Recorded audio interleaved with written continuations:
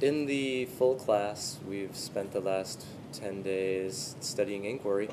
Uh, inquiry is kind of the umbrella under which all scientific investigation falls.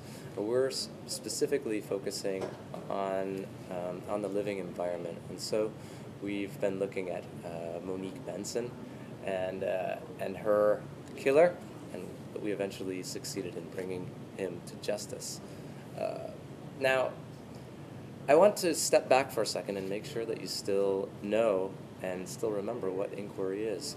Um, so take a few minutes, uh, write, let's say, two sentences uh, to define inquiry and how we've used it in this class. Um, when you're finished with that, I'd like you to develop uh, a KWL chart, and I'm going to provide a document, right? I'll provide a document for you guys to read, a brief history of chewing gum.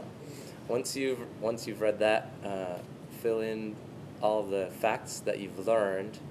And finally, I want to I want to have you think about a problem that appeared in the press that's been bothering me.